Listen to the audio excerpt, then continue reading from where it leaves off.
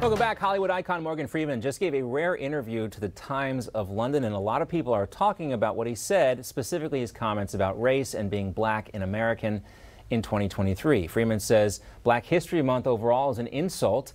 They're going to relegate my history to one month, question mark, he said. And then he said this about the term African American. Quote, I don't subscribe to that title. What does it really mean? This isn't the first time Freeman has said something like this, specifically about Black History Month. You might remember this interview from back in 2005 he did with Mike Wallace in 60 Minutes where he talked about these same topics. You're going to relegate my history to a month? Oh, come on. What do you do with yours? What, which month is White History Month? No, Well- no, no, come on, tell me.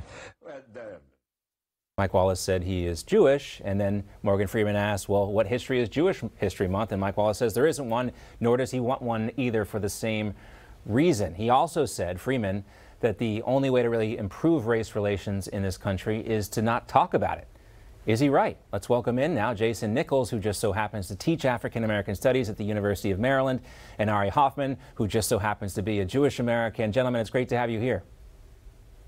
Great to be here, John. And I, I really wasn't planning on talking about that this much, and I saw we had both of you booked, and I thought you would be great to to talk about that. And Jason, when we talk, and I, I do think that Morgan Freeman is so right in that 2005 interview, is that we talk about race too much in this country. Maybe the way we talk about it as a divisive issue, we talk about it too much in the wrong way. But what do you think about his comments overall? Uh, so I think his comments about, first of all, I just want to say that mass shooter uh, statistic that you went on the rant about the FBI, that actually comes from the DOJ. But anyway, uh, what he said about Black History Month is absolutely correct. Uh, the fact that it shouldn't be one month. If we lived in a perfect society, we would learn Black history every month, and, and the students that I get from all over the country would have a basic knowledge of Black history. They don't uh, because they don't even get sufficient uh, learning on Black history in Black History Month. So the idea that we would get away from the little bit that they do learn, uh, I think, is is wrong. But the idea that it should be every month is absolutely correct. In terms of talking about race too much, it's really interesting that a lot of times uh, conservatives oftentimes throw that at the left, say, "Oh, stop talking about race. You talk about race too much." And then I read Marjorie Taylor Greene when she talked about Jack Teixeira. The first thing she led with was he's a white male. And I looked underneath and saw and was looking for any conservative to say, hey, let's stop talking about race. But no one said it. And then I, you know, I looked at You know what? A lot of people did say that Marjorie Taylor Greene kind of jumped the shark on that conversation, Jason. And look, we're not as conservatives or Ari. I'm not. Gonna, don't want to put words in his mouth, but Morgan Freeman is saying this. uh, You know that we talk about race too much, and that was my question for you about Morgan Freeman, not about conservatives or Democrats. Uh, but we'll leave it there. Ari, what do you make of what Morgan Freeman said?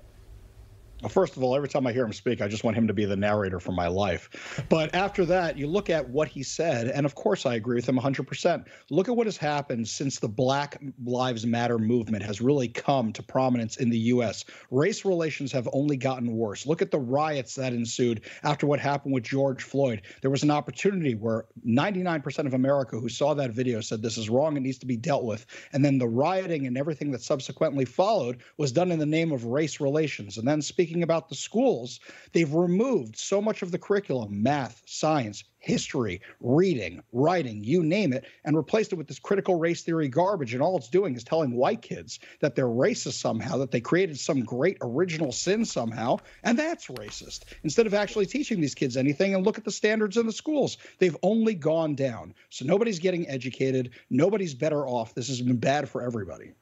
Uh, and Jason, just to go back to your your comment, yes, the FBI statistics do come from the DOJ. The DOJ is the supervising body of the FBI, and, and, and we, we reference those, and we, we do we do criticize the FBI and the DOJ sometimes.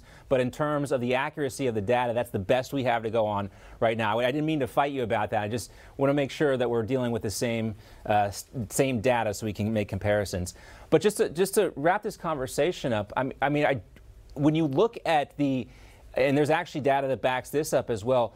The media in general, when you look at a broad swath of the media and the main alphabet networks and the legacy newspapers, there was not as much conversation about race in those publications until President Obama got elected. And obviously, that's going to stir a new conversation about race. But my point is, the more we talk about it, that doesn't necessarily mean we get further, we, we advance further as a country in this discussion. So, how do we do that? How do we not repeat the mistakes of the past? Well, I, I personally, I, when I think about uh, racism, uh, I think of it as, uh, you know, a cancer, a disease within our society. And the only way that you, you don't get rid of a disease by ignoring it, you get rid of a disease by actually addressing it. You get rid of a disease by actually trying to treat that disease. Ignoring it only add, allows for it to metastasize and get worse. And it's uh, interesting that you bring up 2008, you bring up uh, President Obama, because I was thinking about Morgan Freeman. And I remember in 1997, in his hometown in Mississippi, one of the things that he did was he uh, went to the school district and said that he was willing to pay for their first integrated prom. They hadn't had an integrated. yes, I remember that as well. It's amazing. And, and it didn't happen. They declined, and it didn't happen until 2008.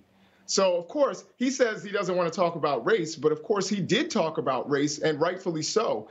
And I think that, you know, we're better off when we actually have honest conversations. I'd love to talk to your other guest about what he thinks critical race theory actually is and what authors of critical race theory he's actually read and what curriculum he's seen critical race theory in. Well, That's we have four, uh, Jason, we have 14 seconds. I'd love to have that conversation too. And again, I don't want to put words in Ari's mouth, but I know he's talking about the 1619 project. He's talking how That's to be an, how to be an anti-racist. And these are all, and, and, and again, we're not talking about critical race theory being taught in law school. We're talking about elements of those books being taught to kids too young to really understand. We're talking about kids being separated and asked to place themselves on their uh, whatever it is, their privilege matrix. That's the type of stuff. But that's just a primer because we will have that conversation. This has been fascinating having both of you here. We appreciate uh, your candor on these issues, Ari and Jason. Thank you guys.